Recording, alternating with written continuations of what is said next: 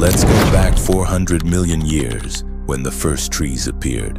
But there were still no organisms capable of breaking down leaves, bark, or wood, which are made mainly of cellulose and lignin, natural polymers. For tens of millions of years, massive accumulations of organic matter took place.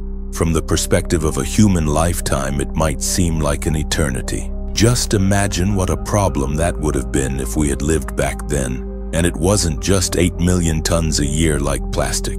Imagine the enormous biomass they created. Part of it ended up in swamps or lowlands, then underground and was transformed into oil, coal, and gas. This period in history is called the Carboniferous. In essence, plastic, oil, and coal are the very same trees and other organic matter, from dinosaurs to algae.